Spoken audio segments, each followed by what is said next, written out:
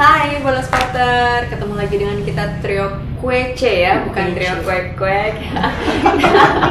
nah, bola spotter, hari ini gue Tere, Ian sama Ruby mau prediksi pertandingan semifinal Copa America 2019 antara tuan rumah Brazil dan Argentina yang akan bertempur di Stadion Mineiro, uh, Mineirao, sorry, pada Rabu 3 Juli 2019 pukul 07.30 Wih. Nah, kita langsung aja nih pertanyaan pembuka. Ya. Ruby. Hai. Nah, pegang siapa Rub kali ini Rub? Eh, kali ini gue pegang Argentina, padahal kemarin gue habis bahas Brazil. Pengkhianat bola supporter. biarin aja, biar Ian gak usah ditanya lagi, biar pasti dia Hmm. Brazil ya kan. Oke, Mm-mm. berarti Ian udah Brazil nih ya. Oke, Brazil. Waktu itu gue ke Ruby lagi. Oh, siap, siap. Apa sih yang eh, buat lu tuh memilih si Argentina? Karena kan kayaknya Argentina kurang meyakinkan ya. Karena mereka aja kemarin sempat kalah 0-2 dari Kolombia pada pertandingan pembuka grup B. Kata siapa? Ya, kata siapa? Emang bener sih Ter, Arge- Argentina di awal Copa America 2019 itu emang loyo. Tapi eh, ya makin ke sini Argentina berubah kan.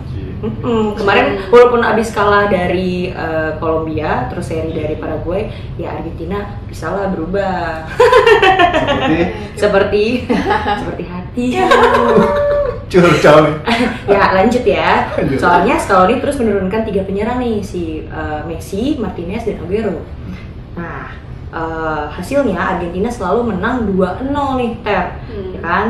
Argentina sedang eh, apa ya? Sekarang mungkin menanjak, menanjak. Jadi hati-hati aja lo ya. Oke, oke, oke, oke. Berarti berarti penampilannya Argentina udah mulai membaik ya, Rup ya? Iya. Ya. Iya. Nah, gimana nih yang Brazilnya lo nih? Secara kan pas perempat final kemarin aja, pas melawan Paraguay aja mereka tuh berjuang mati-matian dan itu pun Hmm. mesti sampai uh, babak adu penalti ya. nah, padahal kan si Paraguay ini aja bermain dengan 10 orang pada menit ke 58 karena si Fabian Balbuena ini kan kena kartu merah. Hmm. Kenapa tuh Brazil kok nggak bisa menang dalam waktu 90 menit? Mm-mm. Iya, emang tuh sempat mengejutkan juga ya. Kok lawan 10 pemain sejak menit 58 Hmm. nggak bisa menang tuh Brazil, malah mesti adu penalti. Tapi menurut gue Brazil cuma kurang beruntung ter. Karena di sepanjang pertandingan Brazil tuh melepaskan 26 tembakan. Mhm. Bahkan 8 di antaranya itu mengarah tepat sasaran. Cuma emang karena Dewi Fortuna dibutuhkan dalam pertandingan. Dewi. Nah, cuma Brazil jadi bisa membuktikan mentalitasnya dalam adu penalti, Hmm. terbukti bisa lolos ke semifinal. Nah, gue juga pengen ngingetin aja nih Ter ke Ruby.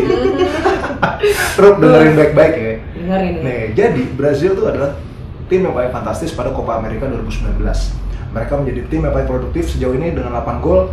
Bahkan, Rup, Hmm. dari empat tim yang ada di semifinal, cuma Brazil yang belum kebobolan dan belum terkalahkan, Ter. Hmm, Iya. hmm, oke, nah lo, gimana tuh nih? Nah lo buat kan, gue. Oh, nah lo kan, Sian udah ngejelasin nih panjang Hmm. lebar detailnya Hmm. nih ke kehebatannya si Brazil kan ya.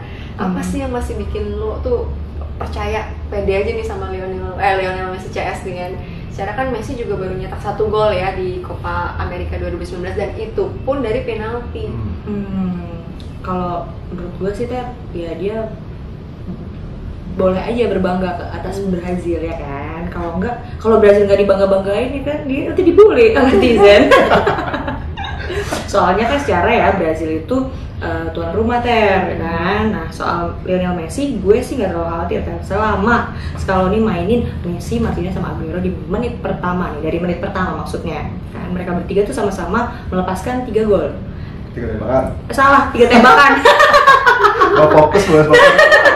tiga tembakan melawan Venezuela di perempat final artinya sama-sama berbahaya ter ya dan sisi positif dari mandek mandeknya keran gol si Messi adalah Argentina jadi tim yang kolektif kan? Pemain-pemainnya jadi bisa lebih menonjol. Sekarang pecinta sepak bola tahu bahwa Argentina bukan cuma Lionel Messi Hmm. ada Lau Lautaro. Lautaro Martinez bisa muncul sebagai bintang. Nah, Martinez ini walaupun masih berusia 21 tahun, dia sudah jadi top scorer sementara dengan dua gol di Argentina. Dia bisa menjadi harapan baru nih buat Argentina. Sekaligus bisa nyenggol si Brazilnya. Iya. Oh, oke, oke. Menarik nih guys ya. Messi yang udah berumur 32 tahun nih akan mandek. Nah, muncullah nih si penyerang penuh harapan ya yang masih muda tuh yang berusia 11 tahun ya, 11 tahun lebih muda nih uh, bola supporter dan Iya. yaitu si Lautaro Martinez. Nah, gimana nih Yan menanggapi keoptimasannya si Ruby? gue pengen ngingetin aja ter ke Ruby kalau nggak cuma Argentina yang punya Hmm. pemain bintang Gue juga punya. Gue gitu juga ya. punya, Ter. Eh, gue lupa ya diingetin dulu. jadi Brazil tuh punya rising star namanya Everton Sousa Suarez dia masih berusia 23 tahun tapi memang awalnya uh, Everton ini adalah pemain cadangan. Cuma ketika diturunkan Tite dalam pertandingan pembuka grup A melawan Bolivia dia langsung nyetel sama tim dan bisa menciptakan gol. Bahkan sekarang Everton juga setara dengan Lautaro, Lautaro Martinez si Ruby. Sama-sama nyetak dua gol. Cuma bola supporter lebih keren Everton adalah semua golnya dicetak dari luar kotak penalti so lo, Hmm. lo siap-siap aja Argentina kebobolan gol dari jarak jauh Oh. Loh, itu lagi hati-hati ya, hati-hati ini. Nah berarti kayaknya bakal seru sih ini Brazil sama Argentina ya. Duel pemain muda si Everton melawan eh, Lautaro Martinez. Nah, oke guys, kalau gitu kita langsung aja nih ke penutup bagian yang ditunggu-tunggu sama bola supporter yaitu prediksi skor. Ruby, Iya.